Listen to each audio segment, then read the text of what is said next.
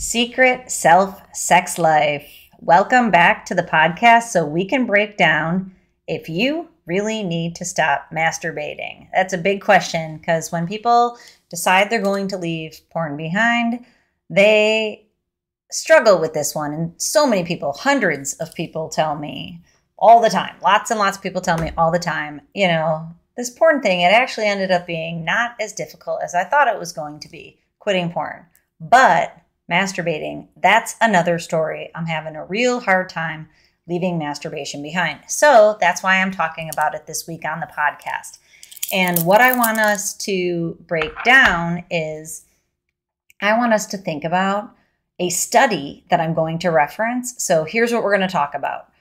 What is involved in your masturbation habit and how is it a reflection of your belief system and is it causing guilt? And that might change along your journey from being a porn consumer to not being a porn consumer, because that journey is one of a lifestyle change. So I'm going to challenge you to think about where you are in that journey and where masturbation fits into that formula.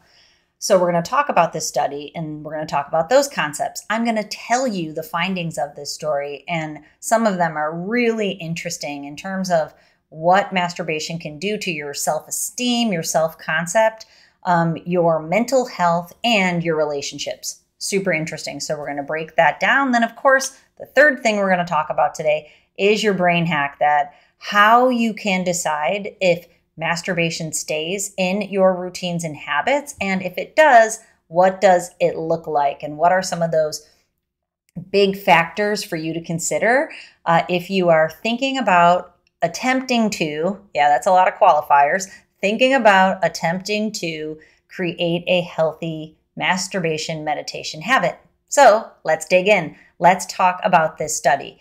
Um, oh, before we do, I've written myself a note for two caveats so that when people are not a fan of what I'm going to say, or at least some of it, that I have acknowledged these two things. Yes, in fact, I am a woman, but no, that does not disqualify me from talking about masturbation. So if you're really irritated that a woman's talking about healthy versus unhealthy masturbation, that is a really good sign that you can check in on yourself and how you're using masturbation and why you are upset about a woman talking about how it might not be the healthiest thing because my professional background and the study that I'm about to talk about qualifies me to talk about it. Plus, just being a human qualifies me to talk about masturbation. So, we're going to need to get over that one if it's a hangup if you find this video. Because uh, I'm recording the podcast, I always put the videos on my YouTube channel. And it gets served up to some people sometimes. And it's like, this is this lady, I'm not listening to this lady about masturbation. Well, what I tell you is going to be pretty interesting. Number two is, in fact, this applies to women. So if you're a woman out there and you're struggling ma- with masturbation, keep listening. Even though I'm going to talk to mostly men because that's who I'm mostly talking to, this applies to you. This is the human experience when it comes to compulsive hypersexuality. Women are not, uh, you know, disqualified from this conversation nobody should be disqualified from this conversation just because of their gender or their sex. So stay with me because this is important. Okay, two caveats out of the way. Moving on. Okay, so do you really need to stop masturbating? Let's talk about this study. So, this study is actually by Castellini et al., and it was in the Journal of Sex Medicine. I will put the link in the YouTube channel video if you're looking for it. But what they did was they studied men who were in an andrology and sex medicine clinic. Now, I love this because this isn't just the general population. This is part of the conversation. It, this is talking about men who went to a men's sexual health clinic because they were having sexual health issues. So, at the end of the study, what they reference is that compulsive sexual behavior is a thing and it's impacting men, and that part of the takeaway of the study is being aware that compulsive sexuality and masturbation as part of it is real. So, what I like about the subjects or the participants of this study being in a sex medicine clinic is that this study talks about men who are struggling with sexuality and specifically they found out about their masturbation habits and what are involved. And those are the findings I'm going to talk about. So, this is really pertinent when we talk about compulsive masturbation. Just to break that down for a second, compulsive sexual behavior disorder is recognized in the International Classification of Diseases, the most recent 11th revision. It's recognized as a dis-ease not ease in the nervous system, is what that means to me.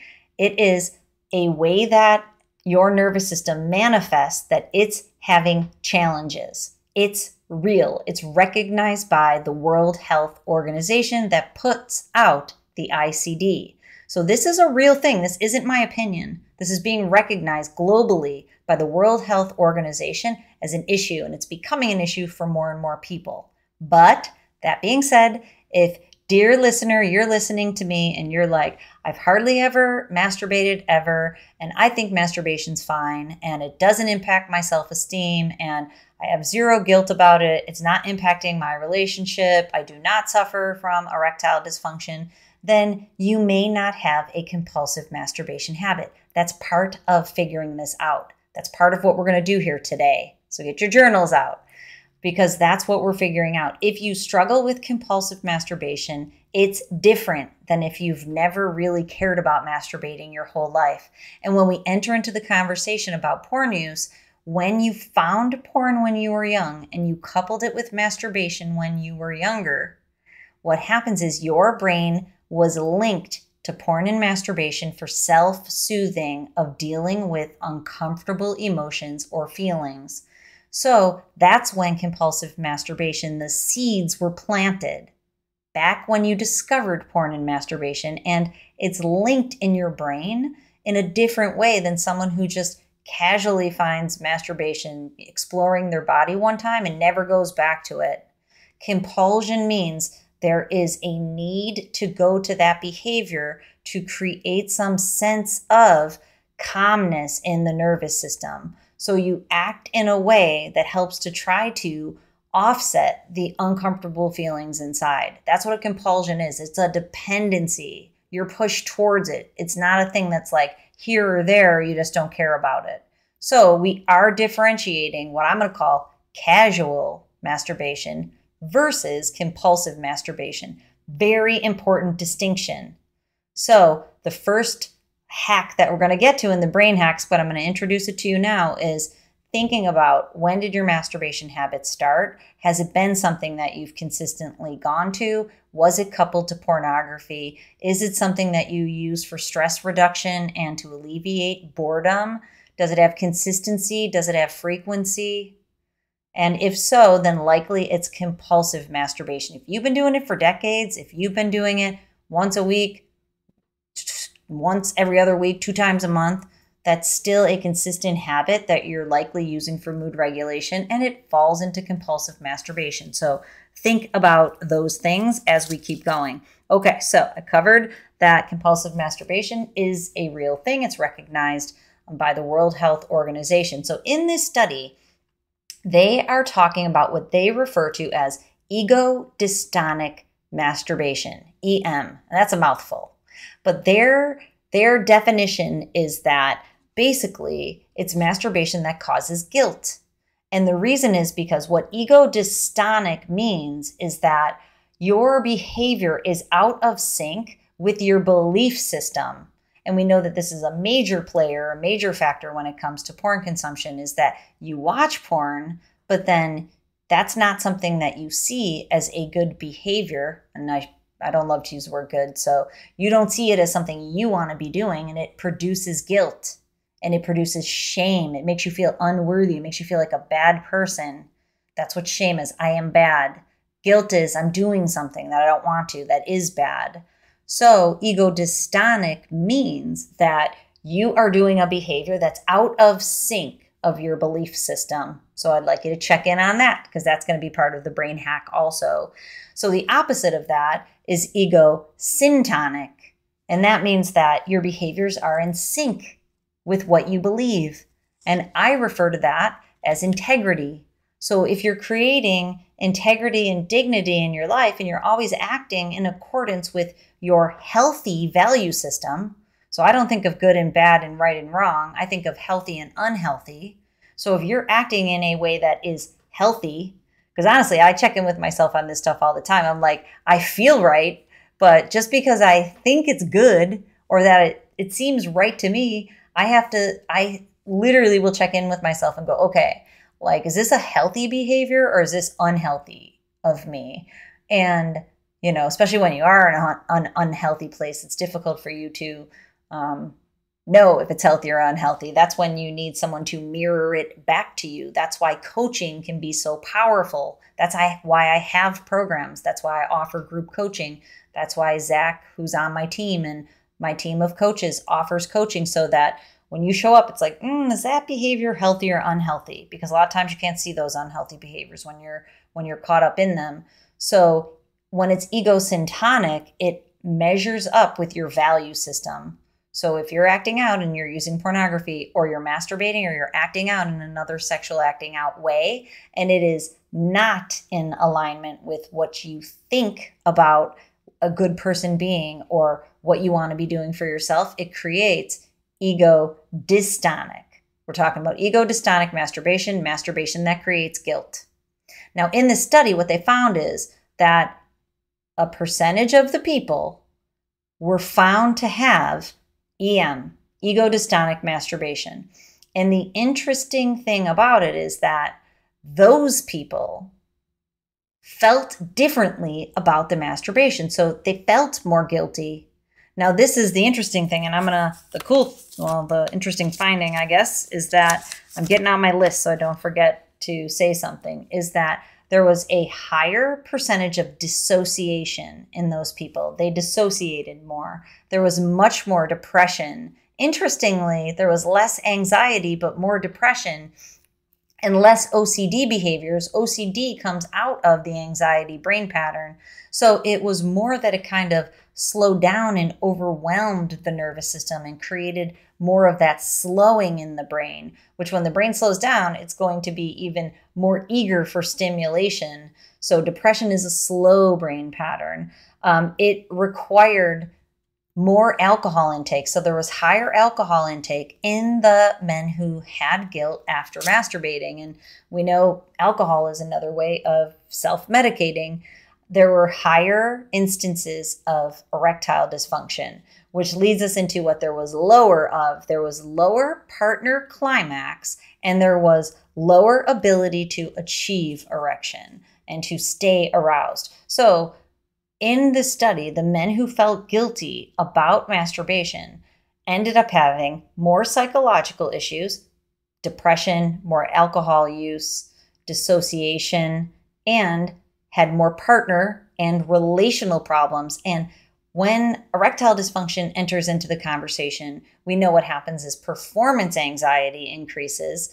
And then if there's all this weirdness within your sex life and seemingly or hopefully trying to have a healthy sex life with your partner, if it becomes strained because of performance issues and then your partner's not climaxing, pretty soon it's not fun for anybody, which unfortunately leads you back into the screen and leads you back towards masturbation because it does feel good and because it's self reliant. So it is a secret sex life, hence the title of this podcast. And we're going to break that down in just a second. So it becomes a self sex life. And many times it happens in secret because it's not shared with your partner. So let's let's go with self sex life for a second, then we'll get to secret. Self sex sex life is you have another sex life on top of the one that you have with your partner. So there's the sex that you and your partner have, and then you have this whole other thing that you do that your partner is not aware of and that doesn't require anybody to be involved. And so that is the seeming beauty of porn and masturbation that makes it so easy for you to go back to. And, you know, again, going back to the comments on the YouTube channel, a lot of men will write, Why would I ever bother with a partner who can tell me no?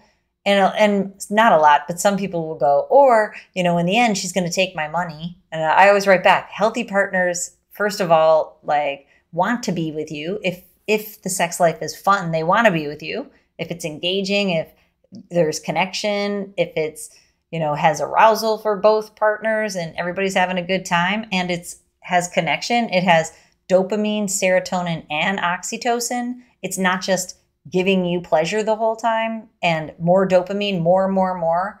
Dopamine is the pleasure seeking neurochemical that's insatiable at high levels. So if you're you've taught your brain that you can get more physical stimulation from masturbation and more mental stimulation from using pornography, now your brain is getting so much dopamine that being with your partner cannot possibly get you aroused. Hence, you have the erectile dysfunction. Your partner's thrown off because she may perceive that she's being used as an object for your pleasure. And I know a lot of people, a lot of partners do feel that way because I talk to them.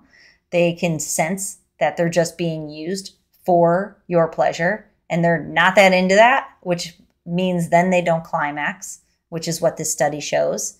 And that creates relational problems, psychological issues, and relational issues. Self sex life on the side. So clearly, if you have a really rampant self sex life and your partnered relational sex life is suffering, that is out of balance. That's not healthy. Okay, let's address the secret piece and then we'll break it down even further. Secret. Secrets breed guilt and shame. So if you're keeping a secret from someone, especially if that someone is supposed to be your partner in crime, the person that you vowed to share your life with, except for in the vow, you're like, I'm gonna share my life with you, except for this secret self sex life I have going on. I'm not gonna share that with you. That creates guilt and shame. That means you're not being vulnerable with your partner. And I know it's strange and I know it's weird. And communication and interaction is a huge piece of this transformational journey. But if you're going to have a self sex life, it should be shared that that is something that you're doing. Because when you share a life with someone, and if your partner's assumption, and I know there's a lot of things to break down here, but if the assumption is that sex is something to be shared, but now you have this thing on the side and your partner doesn't know for one year, two year, five years, a decade, four decades, that creates a lot of animosity and contention within a relationship. So if you're going to do it, share it.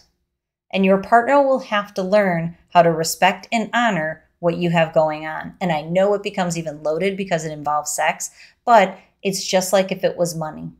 So if you were keeping a whole huge stash of money on the side and your partner didn't know about it, and I know a lot of people do this also, and you keep this stash of money and your partner doesn't have any idea, that still can breed guilt and shame, unless that's the way that you have set up your relationship in the beginning.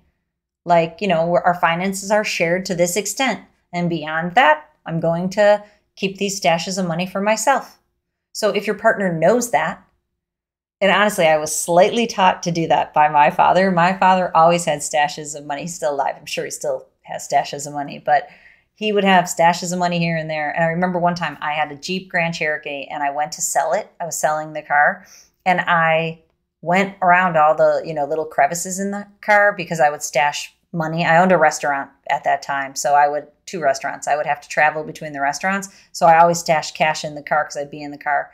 Uh, it was a long time ago. And I remember I went through the car before I went to sell it and I found hundreds of dollars, just money stashed. And it was right when I met my husband. He's like, What is up with you with all this money stashed? And I'm like, I was taught to stash money, my friend. So my husband knows I was taught to stash money. I've been working on not stashing money my whole life, but he'll he'll he'll say, he'll go, you know, let's get this. I'm sure you got money stashed somewhere. And, you know, in the times when I didn't, I'd be like, dude, I swear to you, I do not have any money stashed somewhere. But he knows that part of my deal is that it makes me feel good. I'm a five personality type five. If you ever heard me talk about the Enneagram personality types, personality type five has avarice, and having stashes of money makes me feel safe. Hence, I have them. But the hubs knows that I have them. I don't keep that from him. It's not this secret. You know, I don't always divulge the amount of it. And if he ever wants to know, he'll ask me and I will tell him. But it's part of the deal. He knew that's what he married. He married a girl who stashes money. And I married a dude who does a lot of other things that I knew and that's part of the deal. So then we can respect and honor what each other brings to this relationship without getting mad about stashes of money. It's the same for sex. So if you're stashing sex, but you have not shared with your partner that you're a sex stasher, then when your partner finds out or when your partner vibes it because your sex life is breaking down because there's erectile dysfunction and she's not climaxing, she's like, what the heck's going on? This man's not into me anymore. She has no idea. It's because porn and masturbation are doing it to you. And that's the point of this study is that it will in fact change the way that your brain interacts with healthy sexuality because you're linking yourself to yourself through masturbation and through the higher levels of stimulation. Okay, so let's clearly get to the brain hacks here so that we're not waxing and waning too much. What we've talked about is we know that you if you struggle with compulsive masturbation that it can lead to guilt. And that I'm going to talk about that in a second. If it does lead to lead to guilt, it creates psychological self-esteem and relational problems. And then those need a solution. So let's visit the can lead to guilt for one more minute, then we'll move to the brain hacks. Can lead to guilt is part of that transformational journey. So let's say you just heard my podcast for the first time and you're like, hmm, porn might be bad for me. This lady might be on to something. And you start to learn that porn damages your brain, it creates anxiety and depression, it creates a dopamine deficit in your life, and your whole life will be, feel worse to you. And that it creates this relationship issues, and you're like, "Whoa! I've had part, I've had problems with my partner for a long time, and I thought it was her, but some of it might be coming from me." So now you're understanding the pieces to this thing that porn is definitely not good for you. And if you are using compulsive masturbation to self soothe, it's part of the problem. And especially if you're starting to feel guilt afterwards because it is this self sex life that you've been keeping secret, the solution lies where the problem is. And those pieces are part of the issue. So the first thing to check in with in the brain hack is where are you in this understanding of the role that masturbation plays in your life? And is it, in fact, contributing to some of the challenges that you're experiencing in your mental health, anxiety, depression, lack of motivation in your life? Is it showing up in your physical health? Do you struggle with erectile dysfunction when you are trying to be with your partner? That's what porn induced or masturbation induced erectile dysfunction is like when it's time to be with your partner because she doesn't offer this massive supernormal stimulus like porn and masturbation does you can't do it because you cannot get your brain aroused enough because the reward center in your brain has been desensitized and now that shows up in your life as a physical performance problem of erectile dysfunction is your partner not that into being with you because it's gotten objectified, just using your partner for pleasure. Check in on that. Like, am I just trying to get things done to me? Am I trying just to be, is it porn informed? Am I trying to be like a porn performer and have things done to me and to do things that I want to for the highest amount of pleasure, not taking into account happiness and connection, serotonin and oxytocin, lower levels of dopamine for pleasure with serotonin and oxytocin that's the secret sauce that leads to a great sex life that's shared and relational with another partner, that doesn't lead you into the secret self sex life of trying to get more and more pleasure as, as consistently as possible. Is the habit compulsive? Do you do it on a schedule? Is it something that you do consistently? Are you using it for mood regulation? Do you use it to upregulate your system in the morning to get yourself going so you can deal with the day? Do you use it to chill out in the evening, to bring yourself back down so that you can sleep? That is a dependency. If you're depending upon it to regulate your brain and to regulate your mood, that's likely an issue. Check in on that. Write about it in your journal. Figure out the role that it plays in your life. Do you feel guilty afterwards? Now, guilt's an interesting thing, and I've talked to a few people this week about it, and I've gotten an email uh, from someone who really jogged this in my mind is that he just realized that he didn't know he felt guilty when he got done masturbating, but then he'd go interact with his wife and he would be real snappy and irritable and and just always annoyed with her, but he realized it actually was the feelings of guilt inside. He was feeling bad about doing it. And then it made him angry and he acted out in anger. So he didn't perceive that anger as guilt. He perceived it just as being annoyed at her and that she was to blame. But he just connected the dots because he's been following my videos on YouTube and he's like, I just figured this out. Like it's actually guilt. Anytime I masturbate, I become a jerk to her because I'm feeling guilty that I'm doing it and she doesn't know about it. Check in on that so that you can see if there's ego dystonia happening, if it's something that doesn't jive with what you wanted to create in your relationship. What do you do about it if you figure it out? If it's ego dystonic, the solution lies where the problem is. You have to create ego syncing. You have to create the ego syntonic. Make it so that the way that you act is in sync with your belief, your belief system.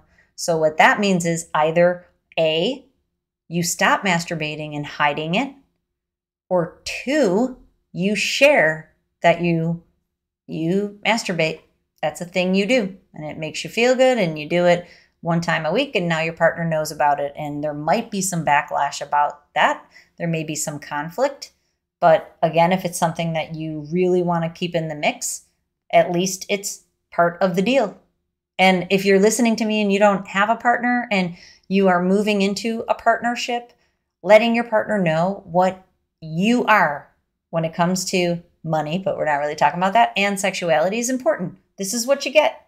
If you if you want to sign up, this is what you get.